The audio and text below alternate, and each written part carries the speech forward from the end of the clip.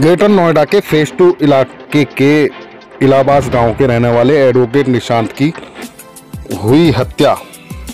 गोली मारकर हुई हत्या। कल रात की घटना। पुलिस मामले की जाँच में जुट गई है। देखें क्या कहते हैं अधिकारी।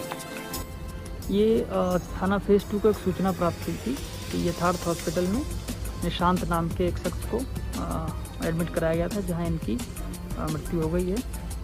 निशांत इलाहाबाद के रहने वाले थे पेशे से अधिवक्ता थे। और इनकी गोली लगने से जो है वो मृत्यु हो गई है जैसा जानकारी में निकल करके आया है। परिवारजनों से बात की गई है। इसमें अ, कुछ बिंदुओं पर उनके द्वारा सूचना दी गई है। इसमें जो इनके परिवार के लोग थे अ, उनसे ज़मीन का जो है वो एक विवाद इनका चल रहा था काफ़ी समय से चल रहा